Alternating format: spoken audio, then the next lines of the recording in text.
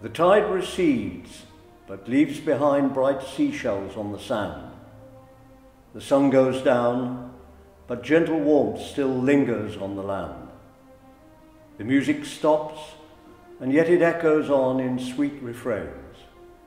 For every joy that passes, something beautiful remains. Each year in Alcester, we mark Remembrance Sunday as we come together as a community to honour those who have served, some of whom fell.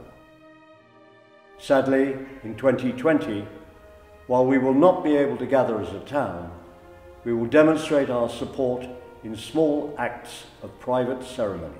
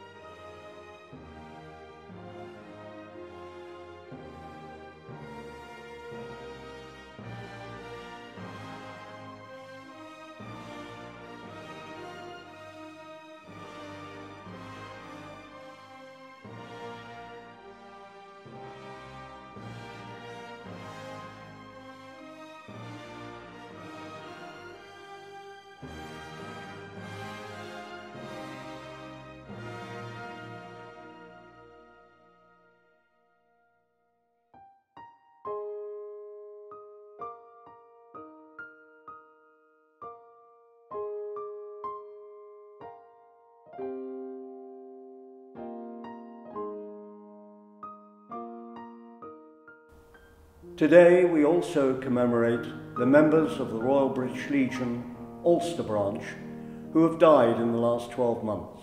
Due to current restrictions, some of those lives would not have been celebrated in the ways that we would have liked. As a community, we were not able to honour our sisters, brothers, mothers and fathers. We name here our friends. We thank them for their service. Their lives are remembered. Frida Colborne, Ron Sherwood, Don Palmer, Bill Norris, Roy Reeves, Sylvia Hyde, Vernon Pugh, Peter Robinson, Brian Goodhand, Beryl Ross, Morris Blundell, John Bate, Bob Woodfield, Brian Gopsill, John Buchanan. May they rest in peace and rise in glory.